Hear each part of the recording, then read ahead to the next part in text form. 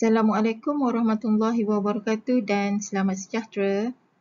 Now it's time for topical exercise 2 for topic accounting for receivable to test your understanding and knowledge in this topic. If you find it is beneficial, please subscribe, like and share.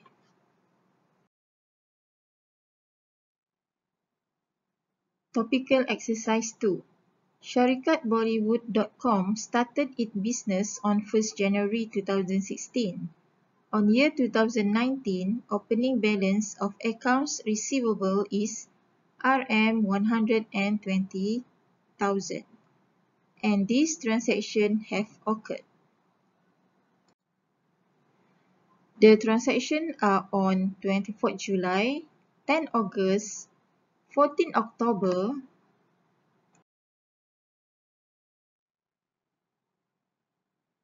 31st December 2019 and also on 25th May 2020, 30th November and 31st December 2020. Requirement Prepare journal entry for the above transaction. The narration not required. B. Show accounts receivable and allowance for doubtful debt accounts for the year 2019 and 2020. C shows accounts receivable in the statement of financial position as at 31st December 2020.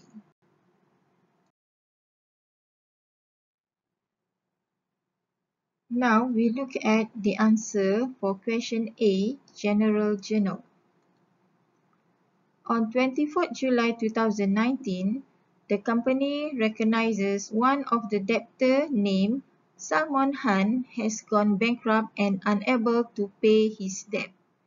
Ini bermaksud pada 24 Julai, syarikat telah mengenal pasti seorang penghutang bernama Salman Khan telah bankrupt dan tidak dapat membayar hutangnya sebanyak RM5,000. Oleh itu, akaun yang perlu dibuat adalah bad debt expenses. So, the general journal is debit bad debt expenses 5000 and credit accounts receivable 5000. On 10 August 2019, Shah Rukh Khan, a debtor, is unable to pay his debt amounted 7,500 due to unexpected losses. Ini juga bermaksud seorang debtor bernama Khan tidak dapat membayar hutangnya berjumlah 7,500 kerana mengalami kerugian. So, ini juga melibatkan account bad debt expenses. So, the general journal is debit bad debt expenses 7500 and credit accounts receivable 7500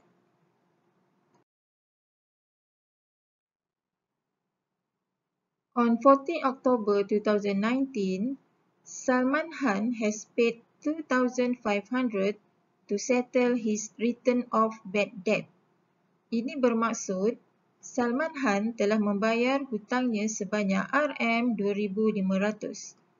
To settle his return of bad debt, ayat ini bermaksud hutang Salman Khan sebelum ini telah direkod sebagai bad debt expenses dan telah dihapuskan rekodnya dari akaun syarikat.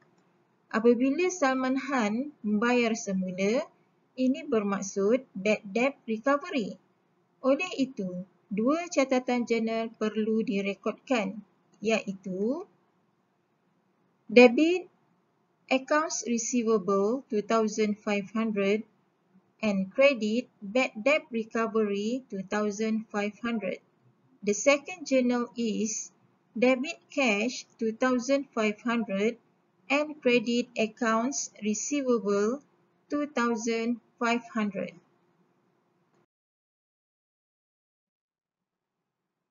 Due to economic problem, the company has decided to make an allowance for doubtful debt with estimation of 10% from net credit sales.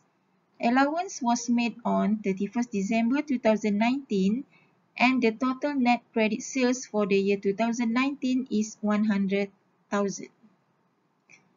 Ayat ini bermaksud syarikat telah memutuskan untuk membuat peruntukan hutang ragu atau allowance for doubtful debt dengan anggaran 10% dari jualan kredit bersih. Ini bermaksud kaedah yang digunakan adalah percentage of net credit sales method. Di mana jumlah kredit bersih untuk tahun 2019 adalah RM100,000. For journal entry, First of all, record the sales for the year 2019. Debit, accounts receivable 100,000 and credit sales 100,000.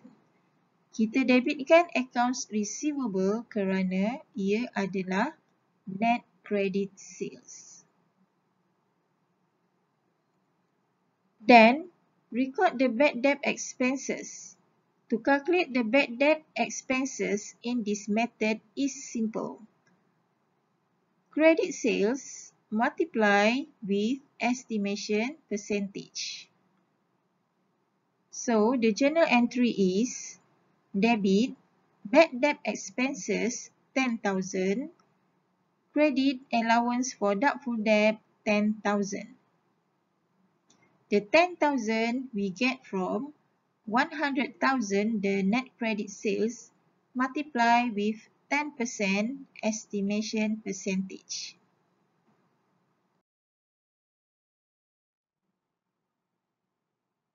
On 25th May 2020, a debtor named Amir Khan has gone bankrupt and unable to pay his debt of RM15,000.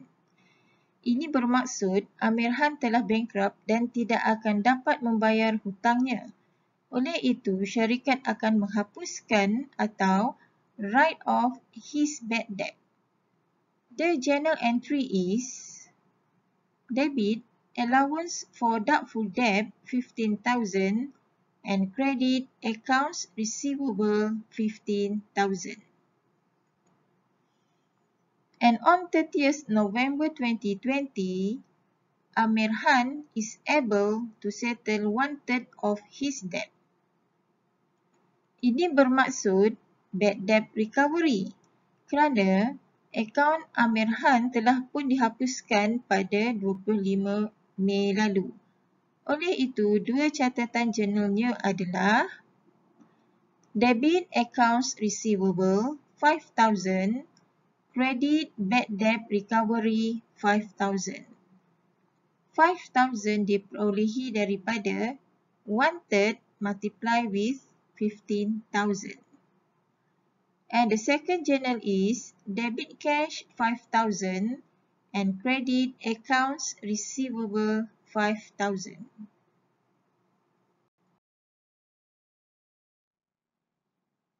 On 31st December 2020, the company provides 10% of the net credit sales as an allowance for doubtful debt. Net credit sales for the year 2020 is RM150,000. Pada 31 Disember 2020 juga, syarikat menggunakan keadaan yang sama dengan 31 Disember 2019. So, the journal entry is First of all, record the sales for the year 2020. Debit, accounts receivable 150,000 and credit, sales 150,000. Then, Record the bad debt expenses. To calculate the bad debt expenses in this method is net credit sales multiply with the estimation percentage. So, the journal entry is debit bad debt expenses 15,000 and credit allowance for doubtful debt 15,000.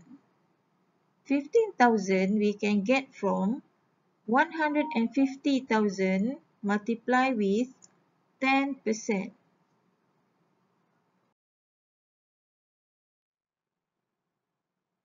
Question B is show accounts receivable and allowance for doubtful debt accounts for the year 2019 and 2020.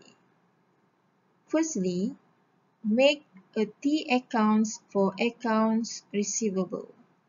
We start with the year 2019.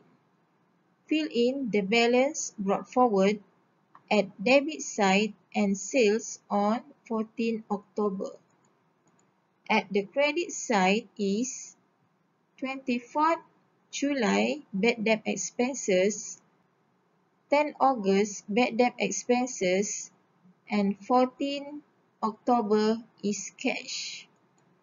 All this information are from the answer in question A. Then, balance the accounts left and right. Then we can get the balance carry forward 207,500, the balance carry forward in 2019 will be balance brought forward in 2020.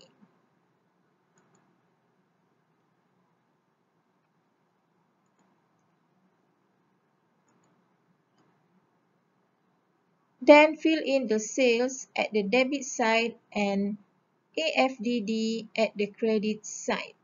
Balance the accounts left and right in 2020, then we can get the balance carry forward is 342,500 and it will be balance brought forward in 2020.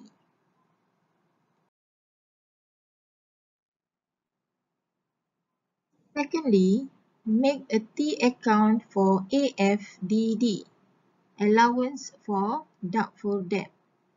We start with the year 2019. Fill in the balance brought forward at the credit side and bad debt expenses on 31st December 2019. All these informations are also from the answer in question A. Then balance the accounts left and right then we can get the balance carry forward is 10,000. The balance carry forward in 2019 will be balance brought forward in 2020. Then fill in accounts receivable at the debit side and bad debt expenses at the credit side. Balance the accounts left and right, then we can get the balance carry forward is 10,000 at the debit side. And it will be balance brought forward in 2021.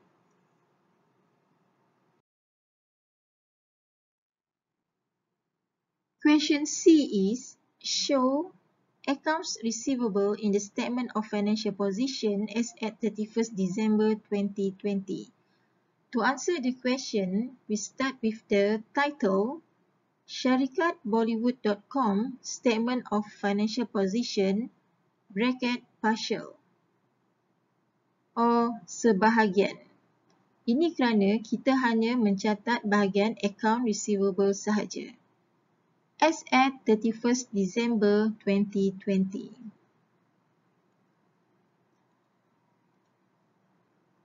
For current asset, accounts receivable 342,500 that we get from the answer for question B. Deduct allowance for doubtful debt 10,000 is also from answer from question B. Then, total is 332,500 is the net realizable value.